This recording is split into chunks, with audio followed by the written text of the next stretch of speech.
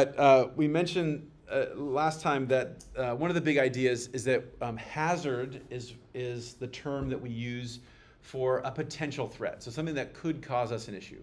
So uh, a hill that might, the soil might be unstable. So that might, that, that's a potential landslide hazard, right? Or if we live in um, along the San Andreas Fault, we have a potential earthquake hazard, right? So that's the that's the potential. It, there's a a potential for that particular type of event to play out. Um, once that event plays out and causes you or me some harm, that is when we use the term disaster. So hazard and disaster sometimes are used interchangeably, but hazard is really before the event happens. Disaster is after it happens and, and, and demonstrates conspicuous uh, bad things. Um, as we'll begin to talk about this semester, the bureaucracy that's been built that, that has evolved around this is is very thick. It's it's hard to crack the nut. So we'll talk about this, but but just just to start or to start off, understand there is a lot of terminology that, that people seem to get bogged down in and really really want to make sure they use the right term and and this this international group uses that term for it and then the FEMA uses a different term for it and you know, so it, it gets it gets can be a little crazy. We talked a little bit about the wildfires um, and uh, there. I showed the wrong video for you guys.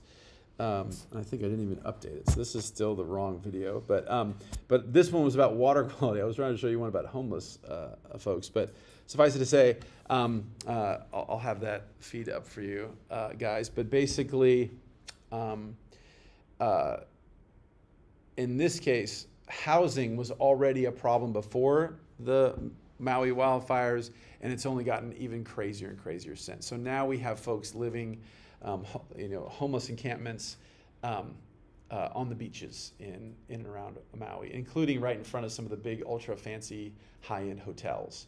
Um, as sort of a bit of a middle finger to the, the policies that have not uh, allowed folks to have um, affordable housing and stuff. Uh, we talked about uh, uh, this uh, coming together event. We'll talk more about it later. Um, and we talked about how easy it is to get, um, especially in today's day and age, angry with one another.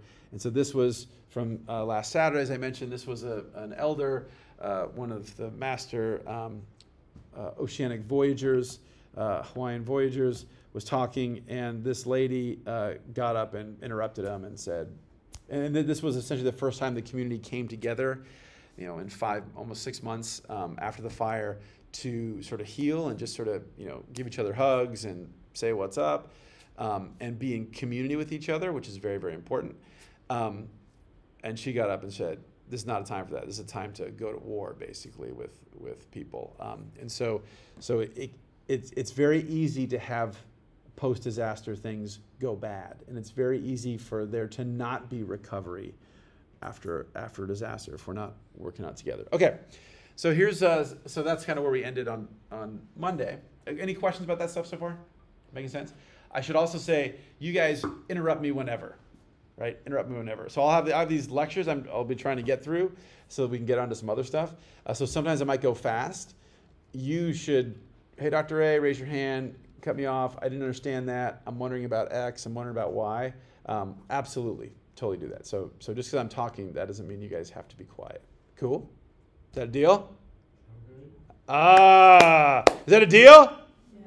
Whoa, geez, everybody's. It's nine o'clock. I thought people would be more awake. I, not, I didn't make it at eight. I thought you guys would have another hour of sleep and be uh, more energy. Okay, so uh, a couple examples of of uh, of some of this terminology. Um, so a hazard, as we mentioned, is, is the potential thing, right? So something that has the, that might cause a problem. It's not causing a problem right now, but has the potential to cause a problem. And so this is United Nations World Health Organization terminology. Um, and so they say a hazard is a process, phenomenon, or human activity that may cause loss of life uh, or, or injury or property damage. Um, something of that nature. So that's a hazard. Okay, cool.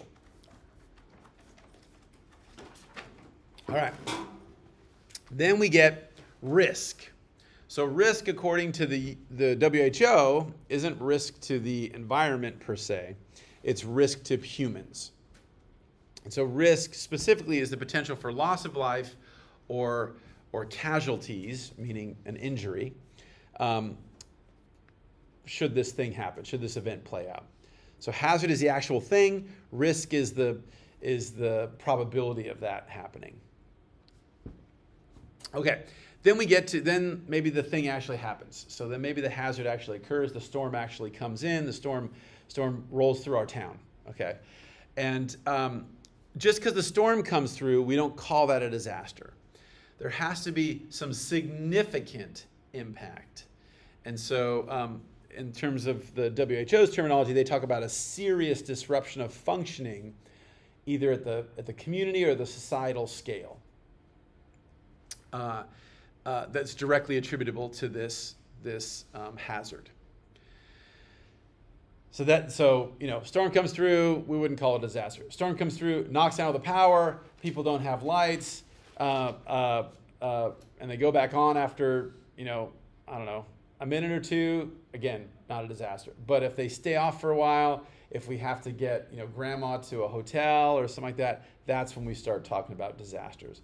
It's a fuzzy thing. So if if my grandma got displaced and she was the only one in the whole town, is that a disaster? Eh, probably not if there were a thousand grandmas displaced, yeah, that's a disaster. But what's the exact number between one and a thousand? There's a bit of a judgment call there, and that's going to depend on the society. That's going to depend on the on the setting, right? And so, so wealthier countries will tend to have a lot more tolerance, and, and, and good infrastructure countries will tend to have a lot more tolerance for what triggers a disaster. But but conceptually, that's that's what the disaster is. Um, and then uh,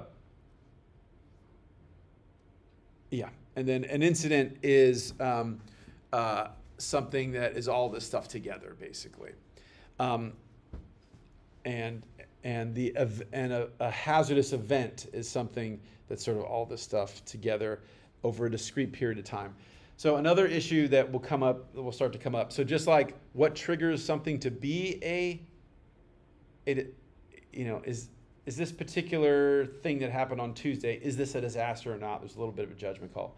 The other thing that's, that's really, really important for you all to understand, especially as ESRM folks, is, um, is, is the timing. So we always talk about the date the, the um, hurricane made landfall. We talk about the date the shaking started the earthquake. We talk about um, the day the, fi- the first flame was you know, the spark of the flame that started the wildfire, right? And that makes total sense. Of course, we should use those dates. We'll typically talk about, well, the hurricane started on Tuesday and was out of here by Wednesday, or the wildfire started on Monday and it concluded two weeks from, from that Monday, right? So that is really the primary disaster. That, that, that, that that's the, the, the, you know, put, stuff you put on television, right? And that stuff makes the evening news. And that, that's important and that's real. Just like it can be hard to define um, if something is or not a, um, a disaster, it can also be hard to define when a disaster ends, right? And so um, part of that is because there's a whole process that we go through, but also there's things that are just hard to understand. So um, uh, many of my friends that uh, we've partnered with for years in uh, New Orleans in the wake of Hurricane Katrina and then in the wake of the Deepwater Horizon uh, blowout. Um, uh, passed away during COVID. Um, and, you know, maybe it was COVID or whatever, but, but a lot of that was likely because of the stress that people had built up. There's so much stress.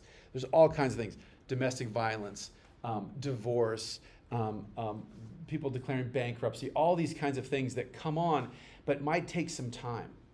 So we were just in New Orleans before Christmas mapping one of our restoration sites, and there was, you know, yet another cypress tree that was, you know, 30 meters tall, that was, you know, at about 20 degree angle.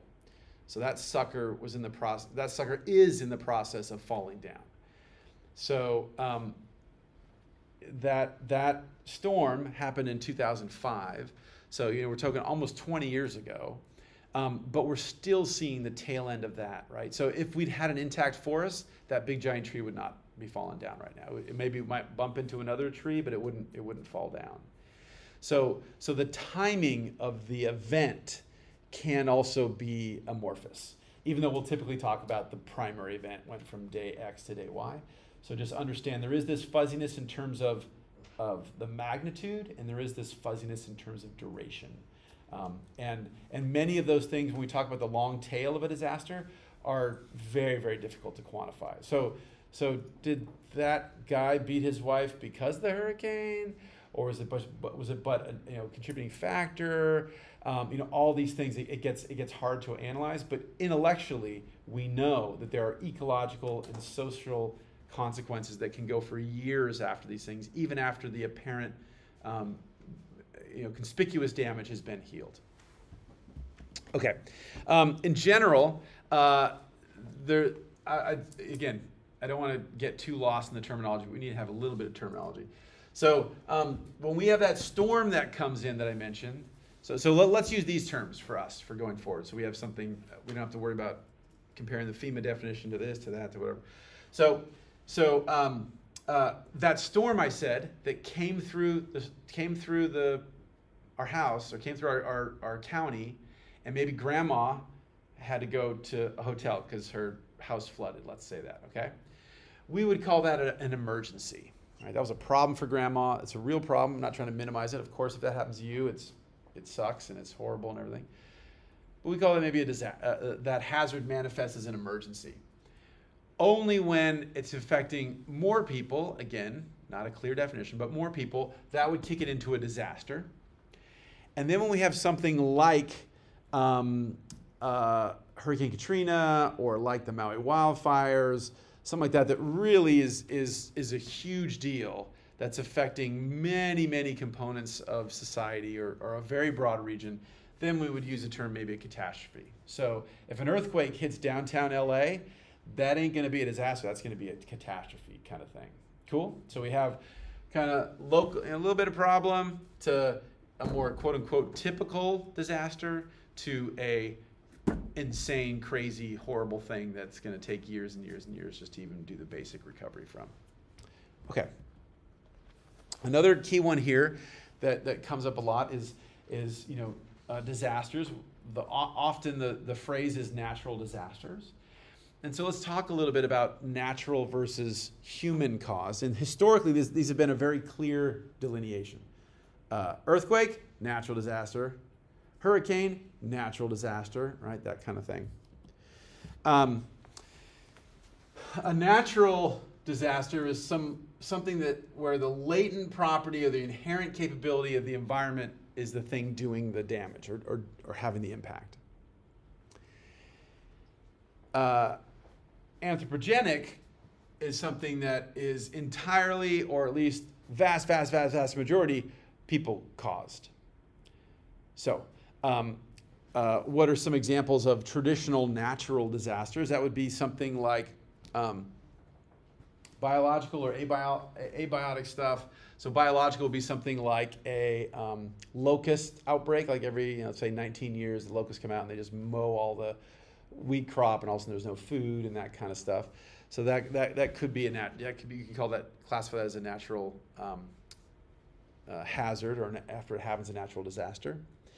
Um, and then the things we typically think of, the geophysical, the shaking of the ground, that type of stuff. Hydro, hydrometeorological, this would be our flooding, uh, you know, crazy snow events or something like that. Or a big giant uh, asteroid comes down and smashes into the earth, that kind of thing. Um, uh, an anthropogenic hazard, or after it happens, a disaster, would be something like um, uh, an oil spill, right? So, so we, we could imagine an oil spill and a hurricane potentially could have this uh, similar impact on, let's say, a salt marsh, right? It might kill the plants and, and knock everything down or whatever. But, but one would be driven by humans, one would be driven by people. Uh, another example would be um, like the uh, palace, like the um, uh, train derailment that we saw that spilled a bunch of vinyl chloride, right, or a chemical spill, something of that nature. Um, and so, uh, so yeah, I'll just say that. How we do on time? Yeah. Um, okay. So another, I think probably the most useful framework for, for categorizing the types of disasters and the types of hazards is this thing called the Sendai uh, framework. Um, and uh, for political choices, they've excluded things like humanitarian crises, um, even though oftentimes these things are hard to distinguish, but, but I'll just say that. So, um, oh, so this was something we're going to do. Hmm. I think I have this over here. Yeah, so oh no, I have it, I have it over here. So this is the Sendai framework right here. So this is, um, I think, probably the most sort of well thought out in terms of uh, you know people trying to poke holes in it and change it and modify it.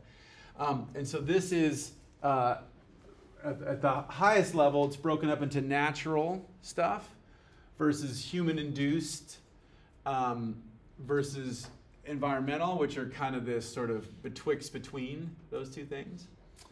And so again, we have the geophysical, the earthquakes, stuff like that, the hydrometeorological, the flooding, the biological, like a disease outbreak, something like a meteorite or asteroid striking the earth. And then we have the technological, which would be something that we that we did uh, and is you could maybe con- you could could consider an engineering failure. So the the pipeline broke and the oil came out. The the chemical plant we we incorrectly mixed the the chemicals and it and it spilled and made a big gaseous thing. Yeah. Would um, like for example, if there was like like a gas or oil rig like malfunction and it like exploded, would that count? Yes. So that that would be that would in, the, in this framework that would be a technological one. Yeah, totally. Versus versus something like armed conflict, like terrorism, right? So ter- again, these things might eh, have the same outcome ecologically or the same outcome um, in terms of the economy of the area, right? But but um, but they're broken out differently.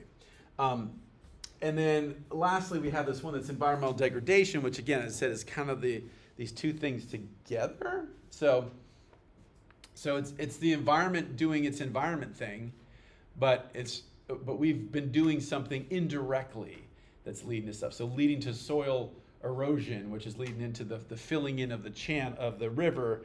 And so now it doesn't have as much capacity to hold water, so it does rent, you know, that kind of thing. Um, so that's an example of these frameworks. Um, and so this is going to set up uh, one of our activities next week. But um, uh, how we've thought about disasters uh, historically is one of the reasons we use the term natural disasters because it's not us, right? It's like, oh, I didn't do anything. It's just a so-called act of God, right? So beyond us. It was just couldn't have predicted it. Totally had nothing to do with us. It was like a random event of the universe kind of thing. Um, and so that, that's how we have historically talked about these events. Um, uh, by the 19th and 20th centuries, we start to not talk about God being angry with us or, or, or the gods being pissed and wrecking retribution, but we start to talk about um, a, serious disruption in something in society uh, that we had little or no warning about and we just we just uh, we, we, couldn't understand it. So we, we, we weren't talking about acts of God as much, but we were talking about something that we didn't understand. Um, now, I think the most common way to talk about disasters is actually to understand that we, if, if we didn't, you know, humans aren't, aren't out there starting a hurricane per se, but um, with almost all of these disasters that we have now, even if they were caused by a non human spark or a non human um, um, initiator, our choices have made the impacts much worse, right? So our choices of lining the, the river with concrete, right, have made the flooding more crazy. Our choices of, of building in, wild, in, in very burnable grasslands or oak woodlands or whatever makes us more vulnerable to fires. That that kind of thing. So so we've we've gone from this this original era of don't know what's going on. Oh my God, we're just little pawns. To well, stuff's going on, but it's just beyond us to understand how it's going on. To now really understanding that our influence looms very large in terms of how these things play out, etc. Um, and indeed, while we won't talk about it much in this class, uh, just in the last 20 years, a whole new branch of science has grown up called attribution science. And attribution science is sort of an interdisciplinary, um, not sort of, it is an interdisciplinary approach. It takes meteorology and, and uh, uh, economics and all these things together to um, understand the likelihood that this event would have happened in the first place or would have been as bad as it was if we had not been doing our actions. And so attribution science really grew up primarily around climate change. So um, when it seems so, so for example, Hurricane Katrina, um, in a sense, it doesn't matter what caused Hurricane Katrina. Hurricane Katrina in 2005 was absolutely a foreshadowing of the coming century, right? So we're going to see a lot more disasters like that. Um, how it played out, how the most disenfranchised bearing the greatest burden, all these, all these things. Um, and it was almost, I would argue, almost secondary if we caused it or didn't cause it. Back then, when that happened, we couldn't really say. So, so back then in, in the early 2000s, it was like, yeah, it's more like probably more likely that, that, that this happened. But of course, we've had hurricanes forever, right? Um, now, attribution science has gotten so sophisticated, we can often get uh, at least an initial answer within hours or days. So when the disaster is still playing out. And that's been really important to, um, to help drive policy to deal with things like climate change. So that, yes, yes, we, we don't know if this particular hurricane striking this particular city was caused by climate change, but we, we do know, we, we can say that that um, this hurricane was um, uh, 200% time more likely to be problematic than if we'd not, be, not been pumping out a gazillion million tons of CO2 in the atmosphere, or if we'd not uh, changed the, the, flooding on the floodplain or, or whatever it was. So, so we've sort of had this movement on conceptualizing disasters from something beyond we, something we can even conceive of to now understand that we, if not, if not the major player, major player, we are a major player in determining how, how um, these things play out. Um, so I, I, already mentioned this, this framework. Um, and so the key things that we will um, touch on this semester are going to be earthquakes and its sister tsunamis, which is sort of the consequence of an earthquake in a large water body. Earthquakes, tsunamis, landslides, volcanoes. Um, and then uh, yeah, so I, so yeah, all of these things um, we potentially can experience here in California. Um, some are more likely than others, but all are potentially possible. So a few years ago, in one of the most recent eruptions um, on the Big Island of Hawaii, it was happening. Um, uh, there was a big concern over VOG, which is like fog, but instead of instead of just sort of dust and whatever. It, it's chunks, little chunks of uh, super sharp glass from the erupted volcano, and so it looks like fog, but if you inhale it, it can like cut your lungs up and stuff. So, so I was talking to this reporter, and they're asking questions, and we are talking about air quality and all this kind of stuff, and then the reporter said, um, "Yeah, but we don't have any." Uh, what's the risk of a volcano happening here, like in downtown Santa Barbara? And I said, zero. Like we're not gonna have a we're not gonna have a lava eruption in down. We're not gonna have a, a volcano go off in downtown Santa Barbara. And, and of course that's you know you talk to the reporter for 45 minutes and that's like the like lead quote. Yes, there is no volcano in Santa Barbara. And um, I'll just say, yeah, it's good to know. Yeah, thank God. I was so worried. Uh, but um, right afterwards, I got a call from a colleague who's a geologist, and this person said, you shouldn't be talking to the media. You're totally responsible. Um, uh, you need to like blah blah blah. Don't speak about what you don't know about and everything. I was like, what? And so this person was saying, we have all kinds of volcanic activity around California, which we do, um, and it's true. um, but, but what I was responding to was an irrational fear that can this happen to us? And the answer is no, it's not going to. And I was right. There has not been a volcano in downtown Santa Barbara. Shocker.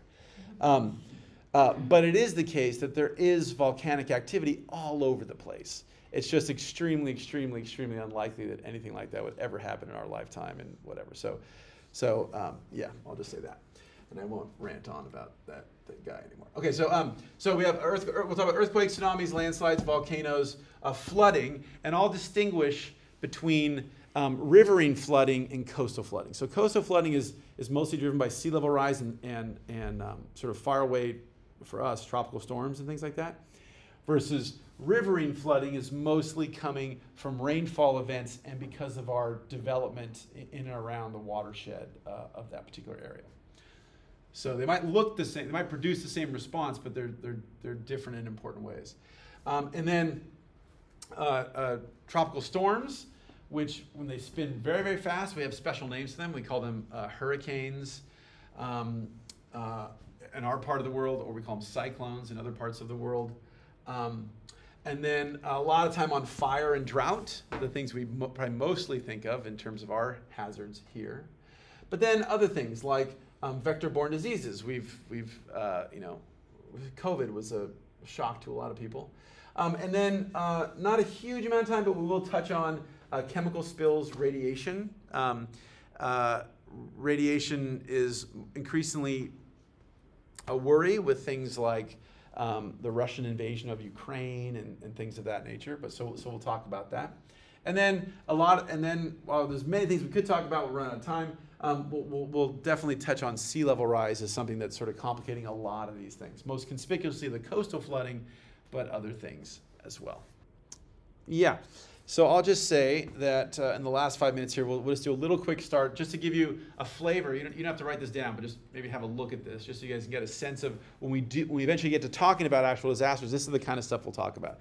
So in this case, this is um, this was a human caused thing, an anthropogenic one, right? So in this case, this was um, these folks uh, uh, carrying explosives around, shipping explosives around. This is basically World, one, World War I era and uh, uh, they basically handled it incorrectly and it blew up basically. So when we talk about this, we'll talk about the we'll talk about where it happened, what the location is, um, and uh, you know when when it happened. In this case, December 6, 1917. And then we'll talk about what actually played out, the primary disaster. In this case, it was a big, massive explosion. It knocked down buildings as far as you know, almost almost a kilometer away. Um, it killed about 2,000 people which in this small town was about a fifth of all the people that were alive in that place, and injured an additional almost 10,000 people. Um, uh, and, uh, and, and then the response that came along.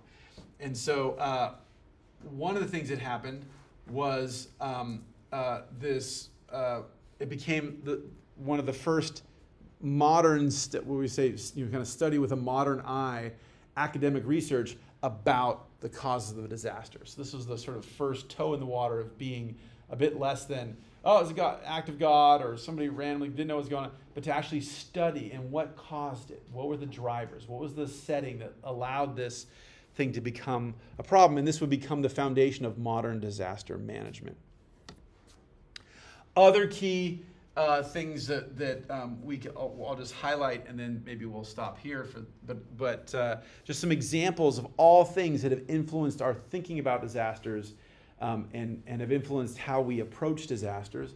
So Mount Vesuvius blows up all the time, but the most famous one that is in all your history tech, textbook and everything is 79 AD um, when it blew up, and this was really the birth of the modern study of volcanoes when this happened. Um, uh, Pliny the Elder dies. Pliny the Younger is the guy that writes about it. Um, so it's like the first time we have like a, a, a, record as to of an eyewitness as, as to what was going on with one of these things.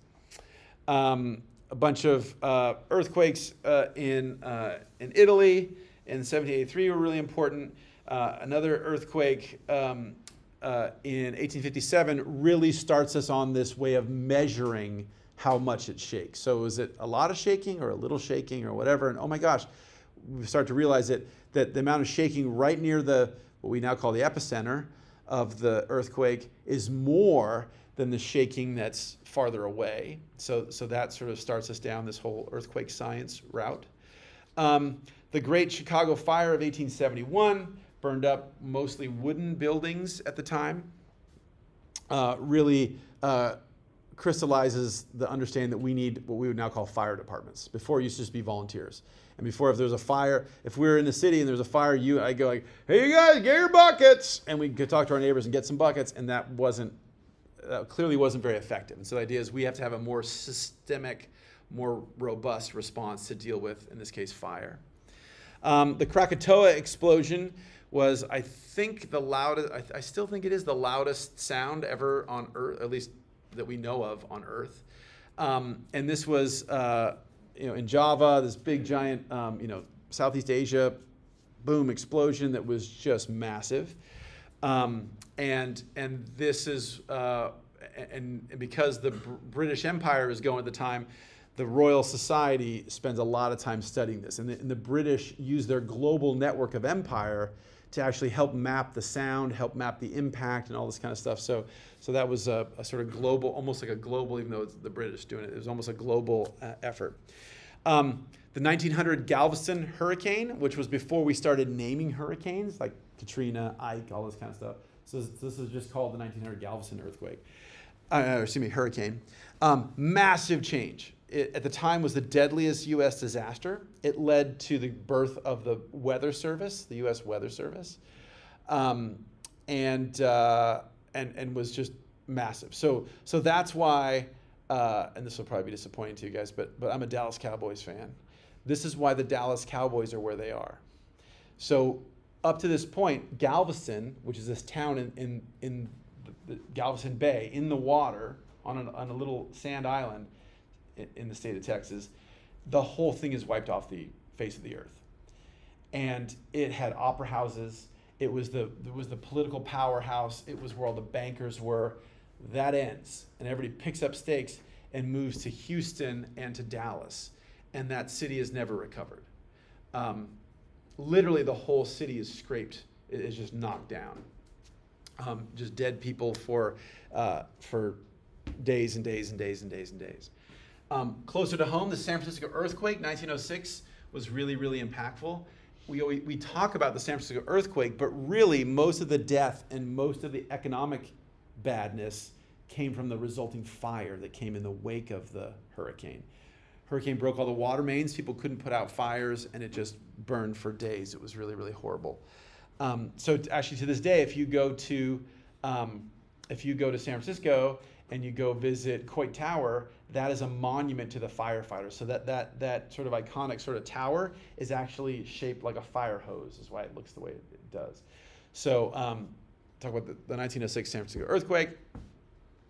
Uh, and then, as I mentioned before, that 1917 sort of birth of modern disaster studies in the wake of this munition expo- explosion. Uh, the 1927 Mississippi River floods were massively devastating and led to the beginning of, of our modern screwing in a massive scale with hydrology across our country. So people said, never again, we can't have flooding. Flooding is bad, nature is bad. We should determine what happens with our, and that's when we started building our dams, that's when we started channelizing the Mississippi River and, and all these other things. So that was a hugely impactful thing. And then we'll just end with the Dust Bowl. The Dust Bowl, probably the greatest environmental catastrophe that struck our country.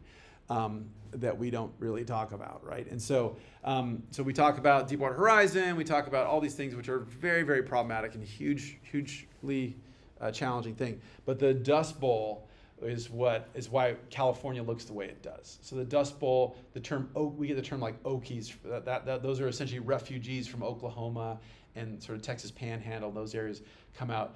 Uh, the Grapes of Wrath is written about this. Um, all this stuff, and this really foreshadows what we're talking about now and going forward, which is bad choices lead to problems, and then those folks become refugees and those refugees go somewhere, and then people start saying, Who are these smelly people? Like, they aren't from here. They don't look like me. They don't talk like me. And what the hell? And for the people are always cool in the first little bit, but then once more and more people come, people start to, you know, elect racist presidents and stuff like that, right? And it's like, hey, we're gonna, this person will take care of this problem. Europe, Australia, uh, China, um, uh, us. I mean, it, it- this this is a phenomenon of human society, and so so this Dust Bowl was really the first modern foreshadowing of that. This environmental disaster that leads to refugees, that then cause pr- societal pressure where those refugees seek refuge, um, and so that's part of disasters too. Cool. All right, so I've probably gone a little bit over, so I'll, I'll pause. We'll pick this up next week. Please do um, run through the first uh, first few modules there, and then we'll be all caught up. And then next week, this Saturday, we'll start on week two module or, or, or- or module two. So I have a module zero, and then I have a module one. If you guys could go through both those. Again, if something's not right, poke me. If you didn't get an invite to to um, Scoop It or to uh, Slack or anything, you guys can come up now and talk to me, or you can just uh, poke me. Awesome. Thanks, guys.